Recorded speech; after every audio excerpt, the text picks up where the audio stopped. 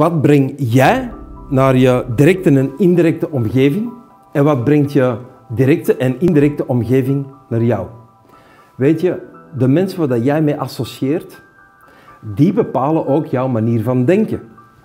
Als je, ik ga een voorbeeld geven, met enorm stimulerende mensen veel tijd spendeert, ja, dan gaat ook je gedachte een meer stimulerende vorm aannemen. Je gaat ook meer gefocust zijn op de kansen en de mogelijkheden en datgene wat er is om naar uit te kijken, op het positieve. Maar als je heel veel tijd spendeert met mensen die heel zwaarmoedig zijn en die klagen en zuchten en kritiek geven op anderen, die mensen die bestaan, hè?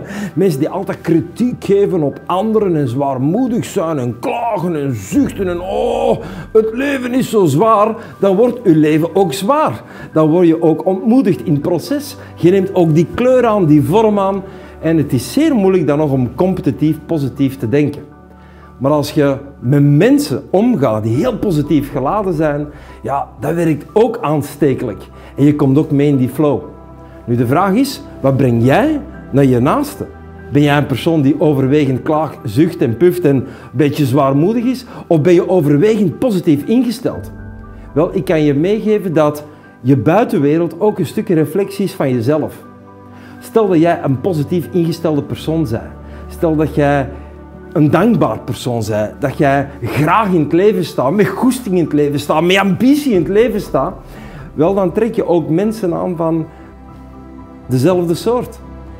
Mensen die ook positief in het leven staan met ambitie en, en goesting, die voelen zich goed bij u. En die gaan graag tijd bij jou spenderen. Mensen die graag klagen, zagen, zuchten en puffen, die daar een gewoonte hebben van gemaakt, die gaan zelf een aversie op jou ontwikkelen als je positief bent ingesteld. Het omgedraaide is natuurlijk ook waar. Als jij zwaarmoedig in het leven staat en je klaagt en gezaagt en gezucht, dan gaan mensen die positief ingesteld zijn, mensen die goesting in het leven hebben, mensen die vooruit willen, die gaan ook afstand nemen van jou. Want het gaat mogelijk een hypotheek leggen op hun eigen toestand. En welke mensen ga je dan aantrekken?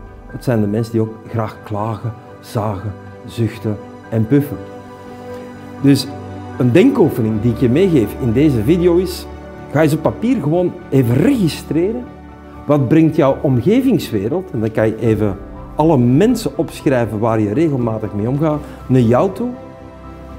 En dan trek je een streep in in de kolom ernaast, schrijf eens een keer op wat dat jij naar je omgeving brengt. En dan kan je misschien daaronder een streep trekken. En dan kan je misschien een keer opschrijven wat wens ik dat mijn omgeving naar mij brengt? En dan vooral, wat moet ik naar mijn omgeving brengen om die mensen aan te trekken die me ook stimuleren en vooruitwerken?